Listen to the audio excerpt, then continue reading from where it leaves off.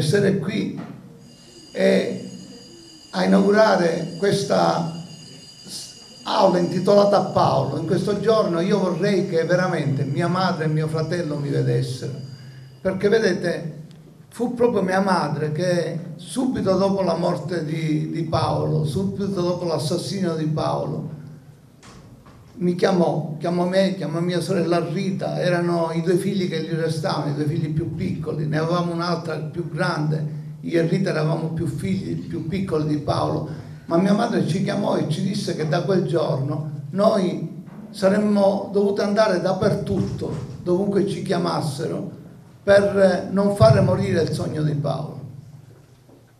Ci disse proprio così, ci disse fino a quando ci sarà qualcuno che parlerà di Paolo, allora Paolo non sarà morto. E io sono 25 anni, anche con momenti di, di sconforto, momenti in cui ho smesso addirittura di parlare, momenti in cui ho tradito, quindi il giuramento che avevo fatto a mia madre, che vado dappertutto a parlare di Paolo per non fare morire il sogno di Paolo. Io credo che il sogno di Paolo forse non ha bisogno neanche di me per continuare a vivere. Credo che uccidendo Paolo abbiano fatto il più grosso errore della loro vita. L'hanno fatto a pezzi, mio fratello, come hanno fatto a pezzi i ragazzi che hanno massacrato insieme a lui. Però sapete cosa è successo? È successo che i pezzi di Paolo sono entrati nel cuore di tanti di noi, di tanti. Voi non vi immaginate quante persone oggi mi parlano di Paolo come se fosse il proprio fratello. Io non sono più soltanto io il fratello di Paolo.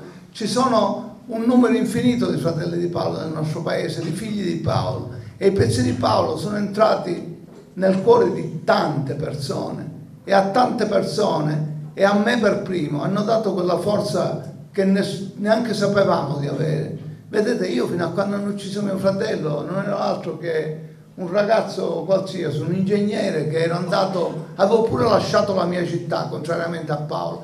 Paolo era rimasto nella sua città per lottare quel cancro che da sempre ha corroso le regioni del nostro sud, Palermo, Napoli, la Calabria, la Puglia, era rimasto per lottare contro questo cancro.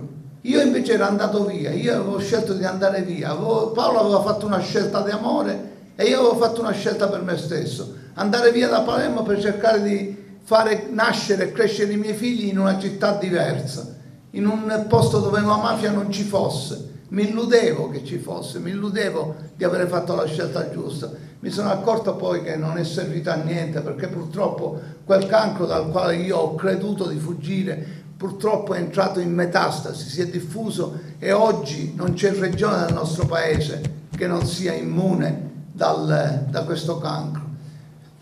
Però io oggi sono felice perché qui in questa che ripeto è la mia città posso dire a mia madre hai visto io sto continuando a lottare. Ho 75 anni ma continuo a lottare. Continuo a lottare per Paolo, continuo a lottare per il suo sogno, continuo a lottare per non fare morire il suo sogno.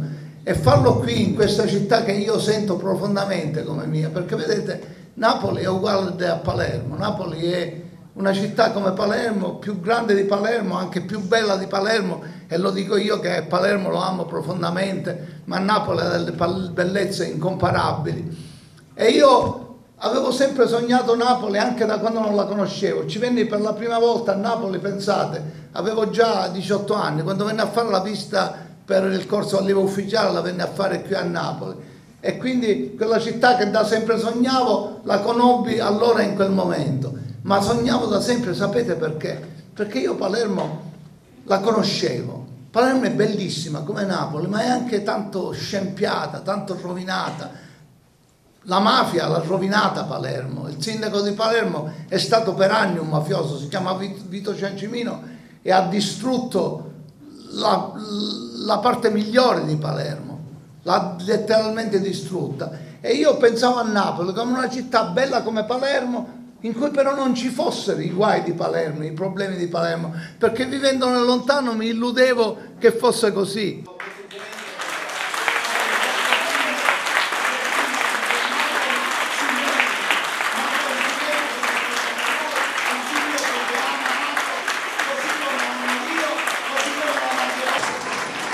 molto buono.